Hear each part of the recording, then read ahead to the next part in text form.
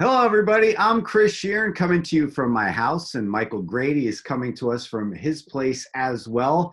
Uh, we're doing what our colleagues across the board at Yes are bringing you, trying to bring a little normalcy into this these uncharted waters we're in, and we're just letting you all know, yes, we're here. Uh, Michael and I are going to uh, go through an NBA bracket. Now, we want the NBA to come back ASAP, but we want to do it where it's in a situation where everyone is safe. And they're talking about going through August and playing and hopefully getting back in July for their season. We don't know what's going to happen, but I figured a couple days ago, Michael, since we're not going to have a March Madness, maybe we could have an NBA Madness if it doesn't come back until August. And I tweeted these out. I, I, I was bored as everybody else is. So I said, you know what? You know, it'd be really fun, at least for me. And this is my own little personal NBA utopia. Don't hate, as uh, Jamie Kennedy said in Malibu's Most Wanted in that movie back in 2003. Don't hate. If you want to make something up where you're doing your own NBA utopia, go right ahead. This is mine, and I'm having Michael here help me with this. But I figured just like the All Star game, Michael, we can have two regions of 15 teams that's the entire league. That's 30 teams. Now, the only thing I got pushback when I put this on Twitter, I want to get your thoughts on this first. They didn't want to include all the teams. They said, a couple people said, give me 24 teams and then I'll be into it. But here's my thing Trae Young would not be in that mix in those 24 mm-hmm. teams. I want to see these young stars. I want to see every single team because we might see an all-star situation, Michael, where all these teams like lock in, hey, this is one game, we have to do this, and I want every city involved. What do you think? I I would too. I um and and you're being generous to Knicks fans, although I don't even think Knicks fans want to see their team in a tournament. Um, but no, I want to see I want to see Trae Young. I want to see you know some of these teams that are kind of figuring things out. And there's different ways, again, like you said, that you can do this. You could have Atlanta and the Knicks play for an opportunity to play a top overall right. seed. There's different. There's certainly different ways to do it, but also after all this time, I think fans will at least want the opportunity to see their team right. play at least one more time. So if you limit it to just 24, some team season is over, you know, is completely right. over and that's it. Once everything is once once we're back to that sense of normalcy like you talked about, they still won't get an opportunity to see their team. I think every team deserves a chance to at least play one more game. That that's my thing. You know, everybody's starved. Everybody in every city is starved for something. I mean, usually, Michael, the sports world, and I know our colleagues uh, with the Yes We're Here things that they're doing, they went through this as well. But when there's been a personal tragedy in your life or a national tragedy such as September 11th, when sports comes back, it's that escape that everyone so desperately needs and we don't have that now and it's just weird because every time something tragic strikes it's that three hours of a baseball game or three hours of a football game or two and a half hours of an nba game that just gets your mind off of everything and you're able to just be normal for those three hours before you go back to feeling that tragedy. Yeah no doubt about it. I mean i, I um there are bigger things at stake right now that we're dealing with. So I think we can talk about both at the same time. You know, the health issue and what's going on in the country, and that and that makes sports seem small in the grand scheme of things. But to your point, sports is also huge as an escape, um, as a uh, as, as a way to get away from issues and and to level the playing field where it doesn't matter where your standing is in life, whatever it may be, where you are, you can cheer for the Yankees, you can cheer for the Nets, whatever your team may be, and that escape is is much much needed.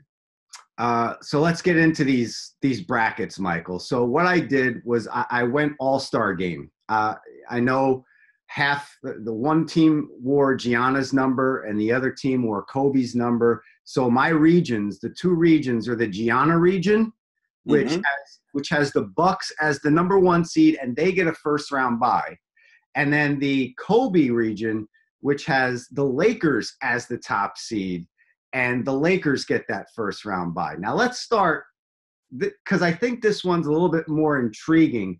The Kobe region, to me, that how I set it up is pretty intriguing because the eight nine matchup, you know, the 8 9 will take on the one that has the bye. The 8 9 matchup in the Kobe region is the Nets and Pelicans. And either team that wins there, that next game against the Lakers, I'm locked in on that game. It's either Zion against LeBron or it's the Nets took the last three of four against the Lakers. I like that. I like that. And I had an argument at breakfast because uh, my stepson is a is a he loves the Nets, but he's you know his family are all from New Orleans. Right. So we had a little argument at uh, breakfast over that. I would go I would go Nets in that in that scenario for an opportunity right. to play the Lakers. But uh, that would be a fun matchup right there for sure. All right. So you have the bracket. So for the sake of time here, in that Kobe region, do you mm-hmm. have any upset specials as I get a little Dick Vitale in here? uh, you know what? The one I look at, like one that's a potential for an upset, is um, honestly the Timberwolves at full strength. You know, with D'Lo, KAT, like that squad could give the Nuggets some issues. I still have the Nuggets winning. So the one that I have will not necessarily be in the first round. I really have chalk in the first round, but Houston that's a team that a lot of folks love to hate.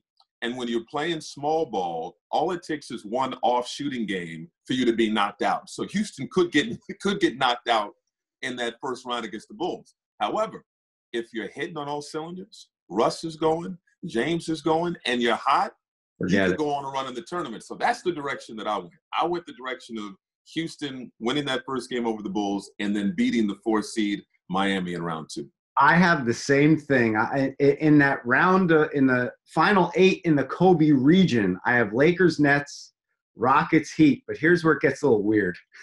I have now. Look, you and I, because we cover this Nets team, we've seen Bradley Beal in fourth quarters go absolutely off. Okay. Yes. So I have Bradley Beal and the Wiz upsetting the Sixers Ooh. in the first round game. I have the 11 going and beating the six there. Ooh. Then I have them meeting the Nuggets. And then I have the Grizzlies and the Raptors. So I have the Grizzlies beating the Spurs. Yep. And I have the Raptors getting by the Warriors. And how funny is that? Last year's finals is a first round 215 matchup. I like that. The Raptors and the Warriors. And here's where it gets even better. I have Ja Morant and the Grizzlies taking out Toronto. Oh, I almost wish that the Grizzlies had a different matchup because I want to see Ja go further. And we saw them not long ago just completely obliterate, you know, Brooklyn. And part of that, Brooklyn wasn't playing. Brooklyn wasn't playing great basketball at that time, but the Grizzlies just looked locked in. Like they are really trying to hold off the Pelicans and other teams for that eighth spot. So they're playing. They're, they were playing focused, really tough basketball. So I could see a squad like that with a hungry player like Morant going on a run. Um, I have Toronto beating them though in round in round two, but that'd be okay. a heck of a matchup. All right. See, I no one should ever listen to me when I do my brackets. I think I won first year we had the the challenge at yes, and then every subsequent year, which is 17 years, by the way. No one could have copied my brackets ever. So, but I figured, how could you not have a little fun, Michael, if you don't have a couple of upset specials? You have to. And and it doesn't end there for the Grizzlies. So my bracket might be completely messed up. but I have them beating the Raptors. Then I have them beating the Nuggets in the next Ooh. round. So the final four in the Kobe region for me, Lakers Rockets, which who wouldn't want to see that matchup in the final right. four region? Right I have the Nuggets and the Grizzlies, and I have the Grizzlies advancing past the Nuggets, and then I have the Lakers, I have the Lakers coming in. So the final two. So in that final four, the Kobe region, my final two for the final four overall are the Lakers and the Grizzlies. The Grizzlies are my VCU, my old school Gonzaga, you know, my George Mason. They're my guys. I, I am locked in on Memphis right now. I like it. I like it. Well, I got Lakers, Houston, Denver, and then Toronto. Okay. Uh, Toronto, I have so much respect for for the way that they've been playing. A lot of folks thought Kawhi leaves, they're going to fall by the wayside, but they've been playing with a championship pedigree that I didn't think that they had in them. So I have them beating Denver there. So my final two in that Kobe region, Lakers and Raptors. All right, let's go over to the Gianna region now. And and this one for me, I don't know about you. I'm going to let you break it down first. But this one for me, I kind of have chalk. It, it's one here, one there, but nothing too big. So do you have any upsets on this side of the bracket? Um, I'm gonna have to duck from all my uh, my Indiana people, but my upset in the Gianna region, um, seeing the Suns earlier this season at full strength with Rubio at the point and Devin being able to play off ball, yeah. do his thing. Like I, the Suns were playing some really good basketball. Injuries and different things kind of threw them off as the season went along. But the Pacers, again, if we're saying basketball comes back in August, before this whole thing ended, the whole thing started where they, they stopped playing, the Pacers were trying to figure things out. You know, Victor Oladipo is back. How is he going to work with Malcolm Brogdon? How are these all guys going to work together? And they were kind of sputtering a little bit. So you have the Suns at full strength and the Pacers still trying to figure out their chemistry. That makes Indiana right for an upset. That's my one upset in okay. the first round of the Gianna region. Other than that, it's all chalk. Yeah, I, I have pretty much chalk other than the Blazers as a nine beating the Magic because you know what I have that one too. I, yeah, I take that back. I have that one too. Dame, Dame in a in a in a big game or a, in a one off. I'm taking big yes. game. I'm sorry. And Nurk and Nurkic would be back too. And Nurkic, Nurkic too. Nurkic and Whiteside. Absolutely right. Absolutely right. And then the rest, I believe here I have is chalk. Let me just make sure. Yes, it is. It's chalk. All right, moving forward. So I have Bucks, Blazers, mm-hmm. Thunder, Jazz, Pacers, Celtics, Mavs, Clippers. Now, the Clips and Celtics advance. So I had the Pacers, you had the uh, Suns, but I have uh, the Celtics and Pacers and the Celtics moving forward. Then Bucks, Blazers, I have Giannis moving. Thunder, Jazz, I'm taking OKC. I, I, I you know, it, they're they're a scary team, and, and they've been playing well too. Everybody like CP3 went to OKC, and everybody was like, ah, that's like a throwaway. He's going to want to get out of there. He has those guys playing well, Michael. Uh, that's the story uh, outside of Lakers, Bucks. That to me, that's the story of the NBA that's not being talked about enough. What OKC is doing, they folks. I, I, I talked about a dip for Toronto playing without Kawhi Leonard, Leonard this season. The drop, the the Thunder lost Paul and Russ. Yeah. And their record, if I'm not mistaken, at the time play stopped, was better than the than the Rockets. So and how? How? So look, Chris Chris put this on his mantle in terms of his list of accomplishments in his career, what he's been able to do with Oklahoma City. They are a Cinderella story in this bracket that would be really fun fun to watch. And so, yes, they would be better than the beat the Knicks for sure. I have them beating the Utah uh, Jazz, and I think they would give Milwaukee all they can handle in that uh, Final Four of the Gianna region. I I have the same thing. Um, and I think that Bucks OKC game would be very dicey for Giannis and company. I think uh, I think the Thunder would play them extremely tough, yeah. but Cinderella's slipper in my blank in my bracket gets broken. yes. Uh, the Bucks advance and the Clippers advance. So, if, see, this is why I set it up this way. I took the Clippers. I made them the two seed in the Bucks region and I took the Raptors just to mix it up. So if it got to the case where it was 1 2, it's Lakers Raptors and it's Bucks Clippers. So you might end up having Lakers Clippers in that final, Michael. And that's what I have. The, the Grizzlies, although I liked them up into the final four, there's no LeBron like a playoff LeBron because a playoff LeBron gets things done. I'm with you. I um I had uh Boston Clippers, Clippers getting past them, and then the Clippers getting past Milwaukee. So I have Lakers and Clippers in my final. Oh, so we have the same final. The same final.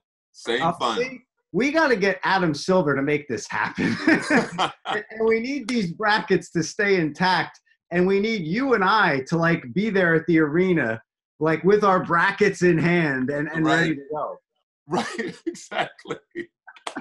But think about it. Think about it. You know, with all this stuff going on, you could have it in one arena. Um, it could just be done in, in one area. You have all the players uh, in the same area. You have the same facility for everything, and you just get it done, and it gets everybody back into the sport. Now, do you count the champion as the NBA champion? Maybe not. But it's a good vehicle in my eyes. Again, my NBA utopia. Don't hate. Uh, but in my eyes, it's just it's something that gives the fans a spark again, and maybe gets people back into that swing with sports coming back. You know, they yeah. got taste. Yes, yes, no doubt, no doubt. You can add a charity component to it. You can add different Absolutely. elements to it for sure. There are a lot of NBA players who miss that that March Madness feel um, and playing those style of games. Like seven game series can be really taxing, um, and so playing a, a one and done style uh, tournament like this would take some of these guys back to their March Madness roots. And for a guy like LeBron, never got to experience right so so the pressure for each game i think would be a lot of fun not only for fans but i think it'd be something these players would embrace. Hey, hey look I, I don't know how you felt about the all-star game this year. I had mixed emotions with the rules going in because i kind of like things the way they always used to be but i got to tell you that fourth quarter was amazing. The defense that was being played in an all-star game it took me back to the mid to late 90s or the early 90s to the mid 90s with the bad boys in Detroit. The Knicks, if you went in the paint, you were black and blue.